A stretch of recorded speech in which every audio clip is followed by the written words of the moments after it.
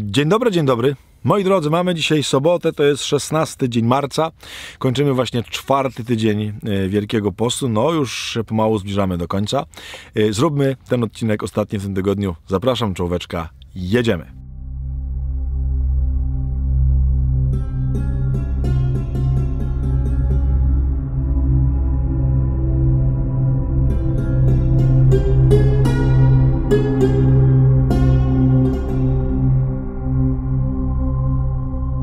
Moi drodzy, moi mili, moi kochani, na koniec tego tygodnia jeszcze jedna myśl od świętego Marka Eremity, Marka Ascety, e, czyli naszego stałego bywalca e, tych naszych spotkań. Proszę posłuchajcie, znowu oczywista myśl, ale bardzo potrzebna. Oto mój synu, co musisz uczynić, jeśli pragniesz wieść życie według Boga. W nieustannej medytacji należy rozważać wszystkie dary Boże i dobrodziejstwa, dawne i obecne, nigdy o nich nie zapominać i wciąż je rozpamiętywać. Darów tych udzielił ci Stwórca swej miłości do ludzi i nadal udziela dla zbawienia duszy. Nie dopuść, aby zło przesłoniło ci pamięć o wielu łaskach, albo byś o nich zapomniał przez niedbalstwo. Wówczas bowiem resztę twego życia spędzisz bez pożytku i w niewdzięczności. Kani temat wdzięczności powraca jak bumerang w tych naszych porannych spotkaniach, ale ja uważam, że on jest naprawdę bardzo ważny. Kani, mówiłem wam już wielokrotnie to zdanie, ale bardzo kocham to zdanie i będę wam je powtarzał do końca świata. Z czym byś się obudził dzisiaj rano? Może właśnie rano słuchasz tego odcinka, nie? Z czym byś się obudził dzisiaj rano, gdybyś miał się obudzić tylko z tym, za co wczoraj podziękowałeś? Kochani, jestem przekonany, że ogromna większość z nas obudziłaby się z niczym. Ja nie będę ukrywał. Kiedy to dzisiaj nagrywam, to jak myślę o wczorajszym wieczorze, to nie podziękowałem za nic. Czyli bym się prawdopodobnie obudził dzisiaj z niczym. Czy to znaczy, że nie miałem za co dziękować? Oj, miałem.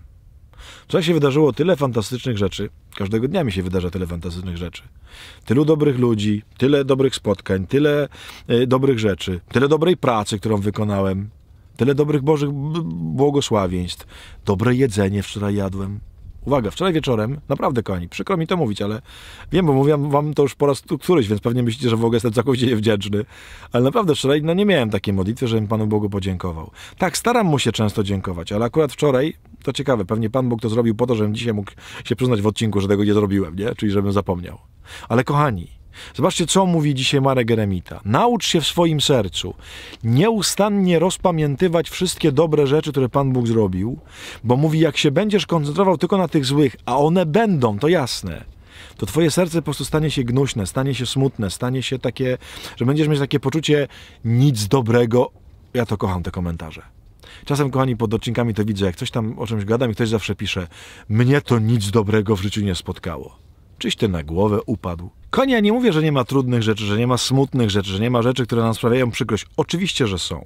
Ale masz bardzo prosty wy wybór życiowy. Albo będziesz się nieustannie koncentrować na nich, albo będziesz się koncentrować na dobrodziejstwach od Pana Boga. Ja nie mówię, że mamy udawać, że tych złych nie ma. Nie.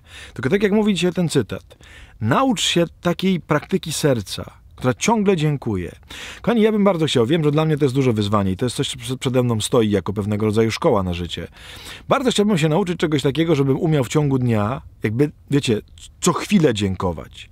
Czyli takie coś właśnie, że nie wiem, zjem dobry posiłek, spotkam dobrego człowieka, yy, słońce wyjdzie, właśnie, wy jesteście w zimie, kiedy to oczywiście nagrywam, bo oglądacie to dużo później, wy jesteście teraz w zimie, jestem w słońcu. Jasne, że w trakcie tego pobytu tutaj podziękowałem już kilku razy, kilka razy Panu Bogu za to, że jestem w cieple, ale myślę, że niedostatecznie. Nie. E, jakby muszę się nauczyć czegoś takiego, żeby wdzięczność była pewnego rodzaju postawą mojego serca. Żeby była taką naturalną postawą, że jak mnie cokolwiek spotyka, to ja to dostrzegam. Bo zobaczcie, że my po prostu większość rzeczy nie dostrzegamy. Tak jak zresztą mówił ten cytat, nie? to jest przez taką nieuważność, przez taki moment takiego, y, to się dzieje i gdybyśmy o tym pomyśleli świadomie, to byśmy to zauważyli, ale to są rzeczy oczywiste, nie? To, że miałeś co jeść, to, że miałeś gdzie spać, to, że ludzie są wokół ciebie, którzy cię kochają.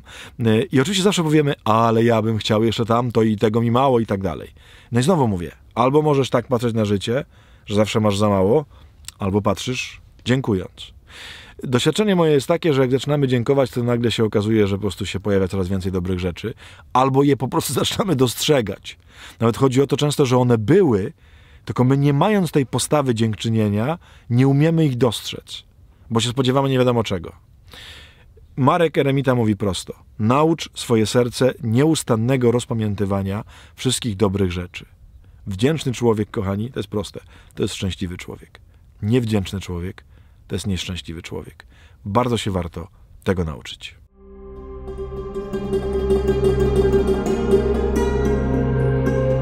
Moi drodzy, moi mili, to by było na tyle w tym czwartym tygodniu. Został nam, kochani, tak naprawdę tylko jeszcze jeden tydzień Wielkiego Postu, potem będzie jeszcze, oczywiście jeszcze Wielki Tydzień, ale taki regularny tydzień został tylko jeden, więc y, ostatnia szansa, żeby znowu się brać za robotę.